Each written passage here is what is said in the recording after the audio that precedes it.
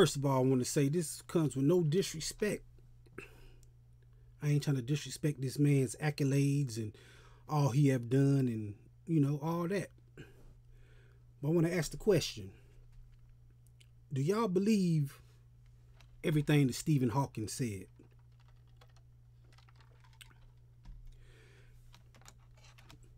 Think about it. Do you believe everything Stephen Hawking has said? When the last time do y'all see Stephen Hawking talking? Like I said, I don't want to disrespect him and all his accolades he have accomplished and everything he have done in life. But I'm saying, I just can't believe he said all the stuff he said he said. Just because I ain't see his mouth move. Stephen Hawking was a remote control car. Can I say that? That's that's how I feel when I see Stephen Hawking. Think about it, man. Stephen Hawking was a computer in a wheelchair, and he was a man. All the stuff Stephen Hawking said came from a computer. Only thing Stephen Hawking could move with his eyes. So how do we know everything Stephen Hawking was saying was the truth? Any little narratives they try to push out and all the great things they said he done, did he really do it?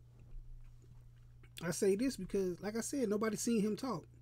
Um, he lived his life. They made a movie about him. He had a woman, all that stuff. He had legs. He walked. He did his thing. Great mind. But after a while, he stopped talking. And he started using his eyes and his computer and his chair. And people were saying he said all these things, but did he really say them? I don't know. Y'all tell me.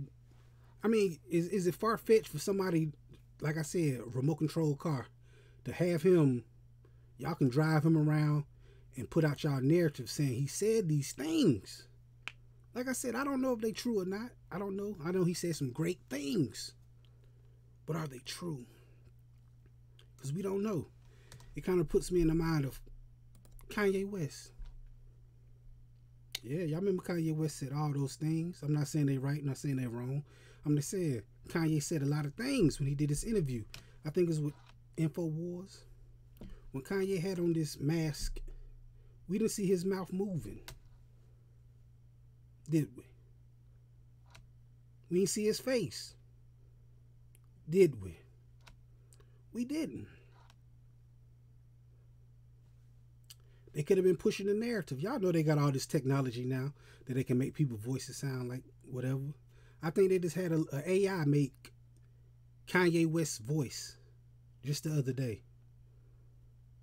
There's a voice of Kanye West.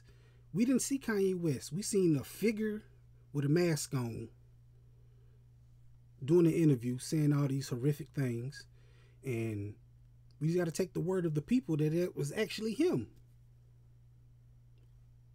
don't know so that's why i say the same thing about stephen hawking great man did some great things but did he say all those great things after a period of time because we don't know